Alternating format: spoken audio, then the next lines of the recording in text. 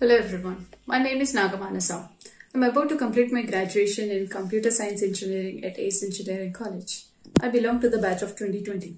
In my final year, I got five placement opportunities in different companies like TCS, Wipro, Mindtree, IBM, and YipTV. And I would definitely give the credit of my success to the college. The college has given us extensive campus recruitment training and also given adequate training in different cutting edge technologies like artificial and machine learning.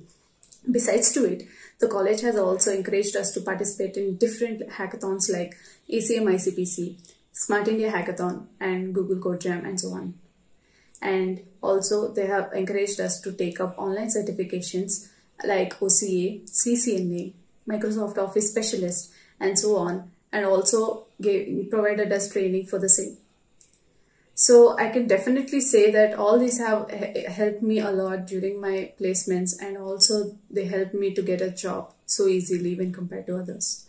So, so for this, I would like to thank the college faculty and also the college management for providing me a good opportunity and helping me grow from a student to a professional. Thank you.